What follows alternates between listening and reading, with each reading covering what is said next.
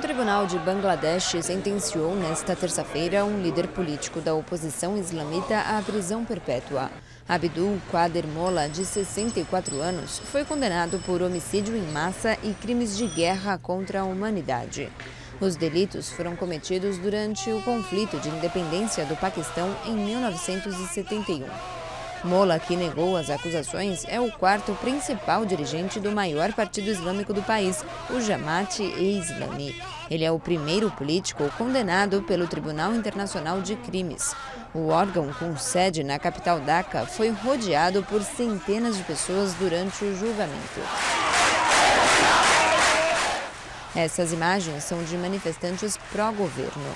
Já os oposicionistas questionam a legitimidade da corte local. Eles convocaram uma greve nacional em protesto ao veredito e foram acusados de provocar distúrbios em várias cidades.